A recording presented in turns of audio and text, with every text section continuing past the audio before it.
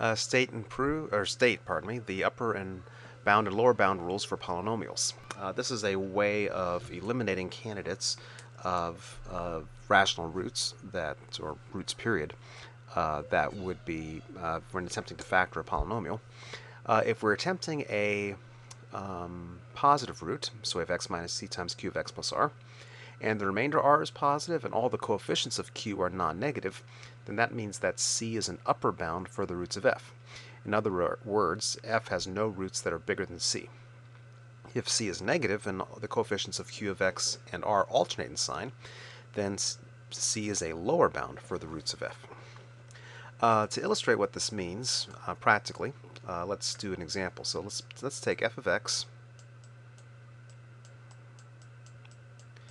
equals 5x squared, or 5x cubed, plus 24x squared, plus 25x minus 6, just to make up an example.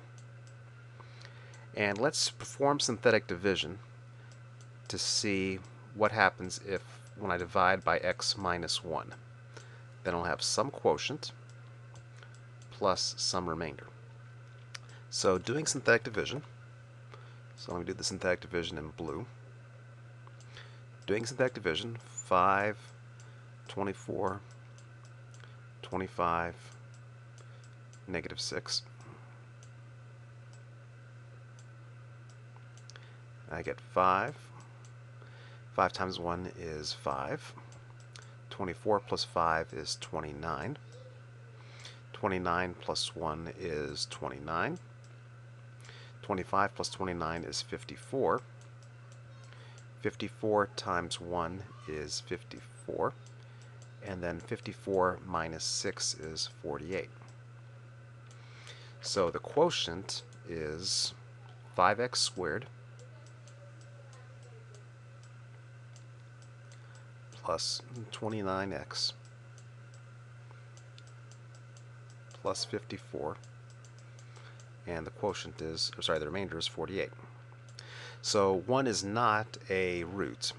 However, we can definitively say that no matter what, uh, nothing bigger than 1 can be a root either. Now why is that? This first term, x minus 1, this is greater than 0 if x is, or is, if x is greater than or equal to 0, or greater than or equal to 1. So x minus 1, that is definitely not negative if x is greater than or equal to 1. Plug in something bigger than 1, you get something that's not negative. This next part, 5x squared plus 29x plus 54, 5, 29, and 54 are positive, and so if x is positive, everything inside the second set of parentheses would be positive, and so this must be positive if x is greater than or equal to 1. And certainly 48 is greater than 0, no matter what. And so therefore, we know that f of x must be greater than or equal to 0 if x is greater than or equal to 1. Because it's a positive, non-negative number times a positive number plus another positive number. No matter what, that is um, going to be positive. So I shouldn't have put the equals there. It must be positive. Okay. And so therefore, that means if we're looking for roots when doing synthetic division, there's no need to attempt something that is a uh, root, a potential root that's bigger than 1. Because according to this rule, we're guaranteed that the um, anything bigger than 1 cannot be a root. So f has no roots bigger than 1.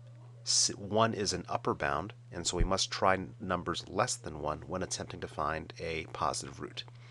Uh, the rule for negative numbers is similar, except that the bottom row alternates in sign positive and negative, and 0 counts as either positive or negative for the purposes of alternating sign. So that is the um, upper and lower bound uh, rules and the part in down here at the bottom is a not necessarily a proof but the rationale for why this uh, rule at least the first rule is correct. The second rule is similar